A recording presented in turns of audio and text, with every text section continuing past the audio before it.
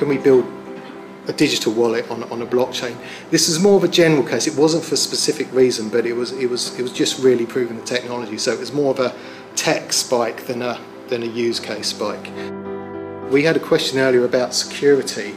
Um, and I, I, think that's an interesting one. What, what do you put on the chain? What do you feel safe putting on the chain? Can anybody tell me any blockchain system where you can actually query the transaction history easily with SQL?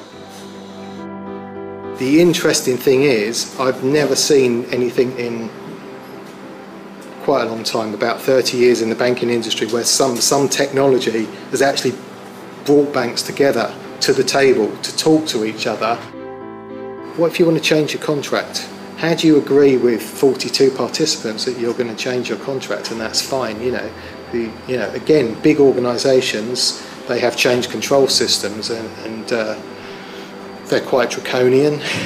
You know, imagine doing doing one of them sometimes is hard enough. Imagine trying to do 42 so you can, you know, agree that a line of code is changing.